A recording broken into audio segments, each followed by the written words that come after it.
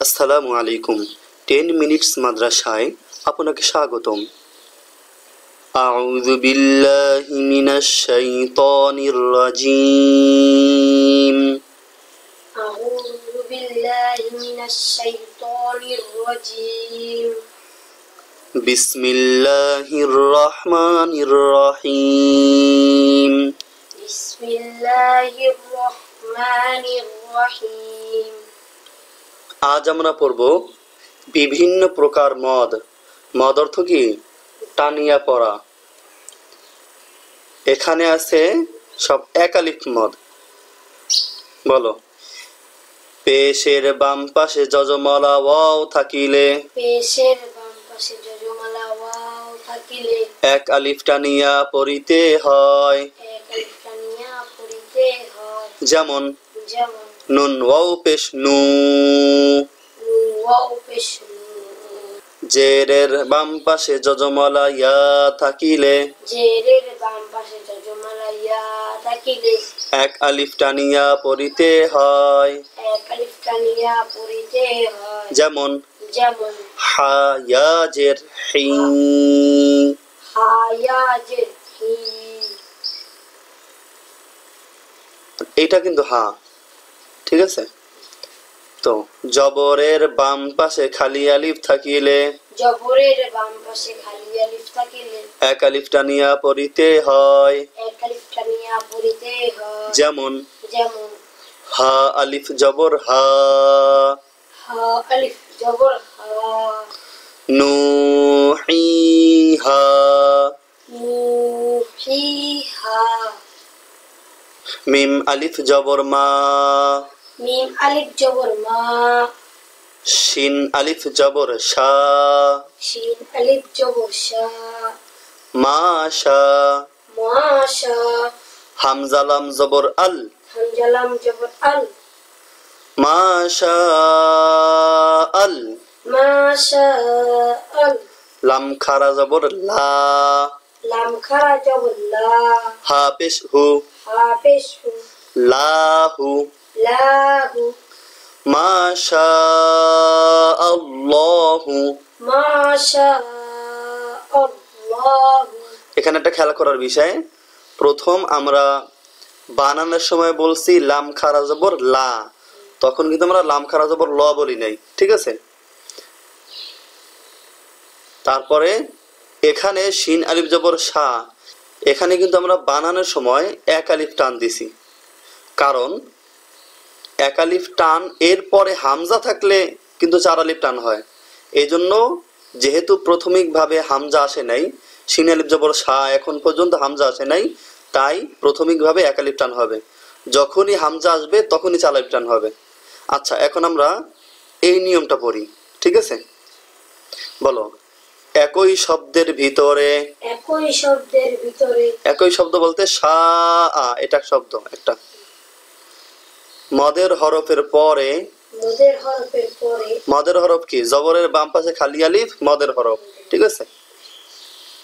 হামজা থাকিলে হামজা থাকিলে ডান দিকের হরকতকে ডান দিকের হরফকে চার আলিফ টানিয়া পড়িতে হয়। হয়। আবার একই শব্দের ভিতরে একই শব্দের ভিতরে মদের হরফের পরে মোদের হরফের পরে হামজা থাকিলে হামজা থাকিলে ডান দিকের হরকতকে ডান দিকের হরকতকে চার আলিফ টানিয়া পড়িতে হয়। যেমন যেমন সা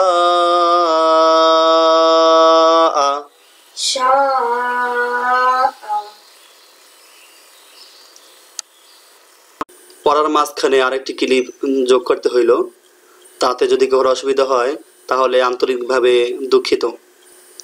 এখানে বাজারের বিভিন্ন যে বইগুলো আছে তার ভিতরে সবচেয়ে গ্রহণযোগ্য কারি বেলায়েত সাহেবের এই বইটা। এই বইটা বিভিন্ন মাদ্রাসায় পড়ানো হয়। যদি আমরা এই বই ফলো করি, তাহলে ওখানে রয়েছে, মাদের হরফের উপর মোটা চিহ্ন, বামে হামজা। মধ্যে মুত্তাসিল, ডান দিকের হরকতকে চারা আলিফটা নিয়ে পড়িতে হয়। আবার এখানে আছে,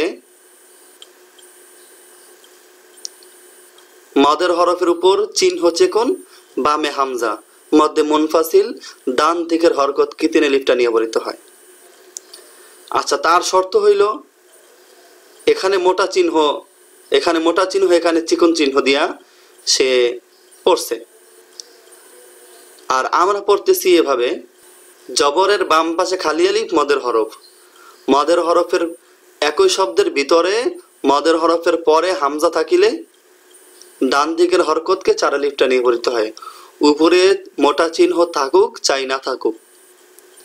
তারপর এখানে বিমা একটা শব্দ উংজিলা আর একটা শব্দ। তো মদের হরফের পরে ভিন্ন শব্দের শুরুতে লম্বা হামজা থাকিলে ডান দিকের হরকতকে তিন আলিফটা নিয়ে পড়িতে হয়। উপরে চিকন চিহ্ন থাকুক, চাই না থাকুক। তো এখন আমরা যুক্তিতে আসি। কারি বেলায়েত হোসেন সাহেবের বই অনুযায়ী পড়লে ভালো হবে, না এই অনুযায়ী পড়লে ভালো হবে? কারি বেলায়েত সাহেবের যে এই যে বইটা আছে, এটা কিন্তু কোরআন শরীফের একটা আয়াত। তো এই বইতে উল্লেখ আছে এখানে দেখা যাচ্ছে তিন আলিফ টান, কিন্তু উপরে সে চিকন চিহ্ন দেয় নাই। আবার এখানে আছে অনিসা এখানে চার আলিফ টানের যে একটা চিহ্ন আছে, ওই চিহ্নটা দেয় নাই। তাসা আলু না এখানে চার আলিফ টান একটা চিহ্ন হবে, ওই চিহ্নটা সে দেয় নাই। তো এর মানে কি আমাদের চার আলিফ টান দিতে হবে না? অবশ্যই দিতে হবে। তো তার বইতে লেখা যে চার আলিফ টান থাকলে চার চার আলিফ টান চিহ্ন থাকলে তারপরে চার আলিফ টান দিতে হবে। কিন্তু এখানেও তো চিহ্ন নাই। তার নিজের বইতেই সে চিহ্ন দেয় নাই। অতএব বোঝা গেল যে চিহ্ন কোনো শর্ত না। এটা দিলেও হয়, না দিলেও হয়। তবে আমাদের নিয়মটা শিখতে হবে যে একই শব্দের ভিতরে মদের হরফের পরে হামজা থাকলেই চার আলিফ টান হবে। তাতে উপরে চিহ্ন থাক, চাই না থাক।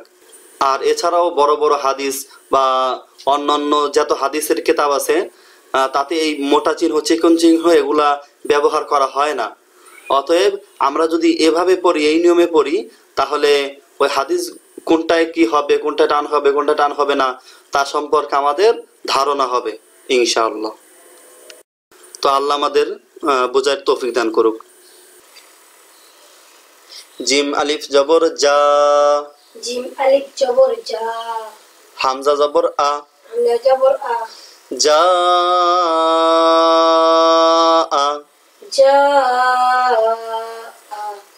হামজা পেশ উ। হামজা পেশ উ। এই ওয়াও কিন্তু বাদ যাবে কারণ ওয়াও খালি। লাম খারা জবর লা। লাম খারা জবর লা। উলা উলা হামজা জের ই।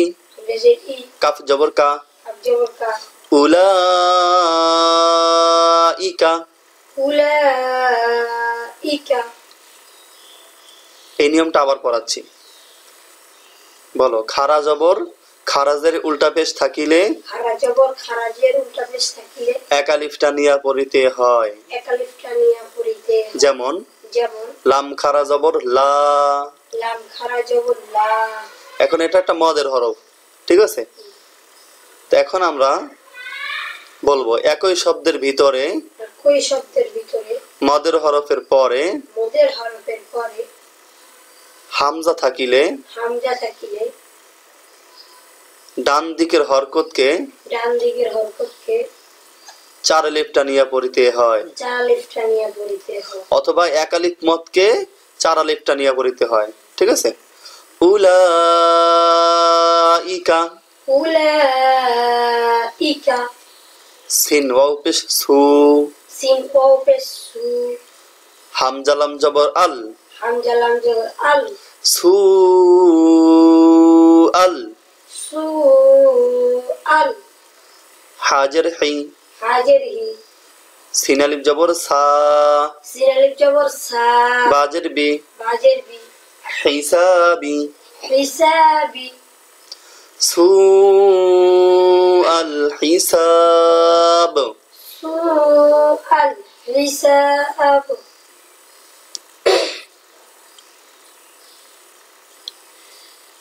এখানে অক্ফ করার কারণে হিসাবি না হয়ে হিসাব হয়েছে আর যেহেতু আমরা জানি অক্ষ করিলে লাস্টের হরফে জজম হয় তাই বা কিন্তু কলকলার হরফ, কফত বা জিমদাল। এই পাঁচ হরফে জজম হইলে কলকলা করতে হয়, এটা আমরাও পড়ছি পিছের এপিসোডে। তাই আমরা কলকলা করছি। হিসাব। হিসাব।